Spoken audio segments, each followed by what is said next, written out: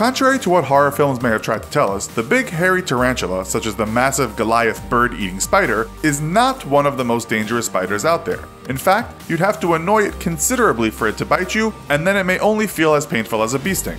The amount of venom it releases is nothing for us to worry about. We thought we'd get that out of the way first, as these kinds of spiders are often portrayed as being the most deadly.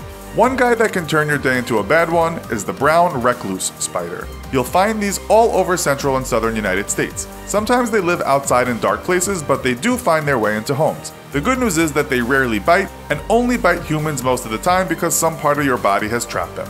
If bitten, you may feel a small stinging sensation, but you should go to a hospital right away for treatment as bites can lead to tissue damage if not treated correctly. You can find reports of people dying from these bites, but it's usually due to complications, just as people can die of a wasp sting. An unfortunate Alabamian boy was one such person who died in 2014. These guys are pretty small at less than an inch in width. Another spider commonly seen in the US is the wolf spider. Like the brown recluse, they usually don't bite if you haven't accidentally put it in some kind of uncompromising situation. They do, however, look mean close up and they can move very fast. If bitten, you should clean the wound and seek medical treatment as there is always a possibility of an allergic reaction. Still, these things are not considered too dangerous. They only measure about 1 inch in width depending on what kind it is, so it won't creep you out too much. Another small spider, but one that has caused all kinds of mayhem, is the black widow spider. As you can guess by the name, you don't see too many males as they are often killed by the females. If bitten by this tiny thing, you may start to feel sick and breathing can be hard as they can cause paralysis of certain muscles. Most people do get over this pretty quickly, but they can be deadly to little kids or the elderly. Fortunately, even though they have very toxic venom, when they bite, they don't give you the full dose. In 2011, it was reported that a man from Colorado died after being bitten 19 times, but that was a very rare occurrence. Many spiders, in fact, may not want to give you their venom as they need that stuff to kill their prey. If they waste it on you, they could starve to death as they need time to create more. A relative of the black widow is the brown widow. If it bites you, the symptoms are very similar to that of the black widow's bite. The paralysis is usually temporary, but you can imagine how scary that would feel. It might also lead to further complications. You can find them in many parts of the warmer world, and people have died when bitten. Depending on which source you are reading, some people say they are more deadly than black widows, and other sources say less so. Another spider also in the same family as the last two is the redback spider. We know these are deadly because a recent report in the Australian press noted that a redback was responsible for the country's first spider bite death in almost 40 years. A young man was bitten when hiking around the coast of New South Wales. He was given antibiotics but still succumbed to the venom. You can't miss this spider because, as you can guess, it has a redback, or a red stripe, down its back. About half the people bitten by a redback will suffer fairly serious symptoms, and before the antivenom was introduced, these little critters killed often. Even though Australia is famed for all kinds of things that can creep up on you and kill you, there are only two deadly spiders in the country the redback and also the funnel web. Depending on what source you are reading, some people say the latter spider is the most deadly in the world. Nonetheless, it is reported that Australia hasn't seen a funnel web death since 1979.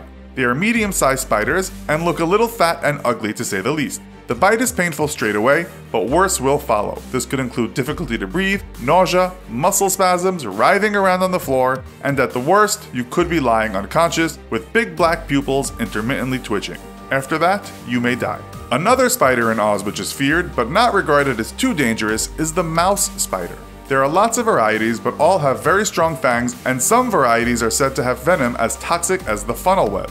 They are black and shiny, medium in size, and quite bulbous looking. The good news is that they are not seen too often and don't have a very aggressive personality.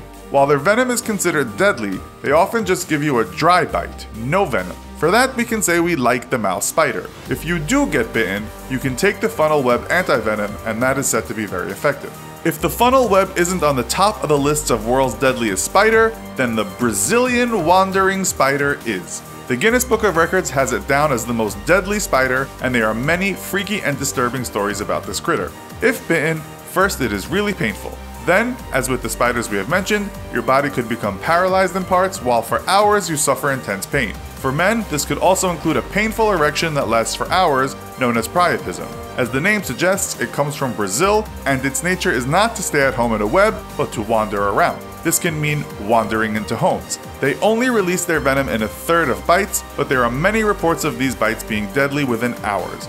There is anti-venom, which is some good news. The large spiders, they have about a 6-inch leg span, have also been known to hitch rides to the UK in bunches of bananas. In 2017, the Sun newspaper reported hundreds of the world's most venomous spiders burst from a bunch of bananas. This happened when an egg sac burst open on an unsuspecting mother. It took pest control three days to clean up her house. Had those things been allowed to grow up, we don't even want to imagine.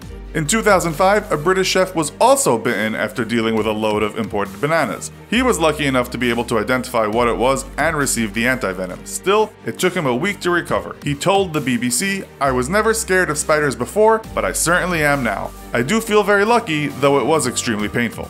So, have you ever been bitten by a spider on this list? How did your body react? Let us know in the comments. Also, be sure to check out our other video called Most Painful Things a Human Can Experience. Thanks for watching, and as always, don't forget to like, share, and subscribe. See you next time, and try not to have nightmares.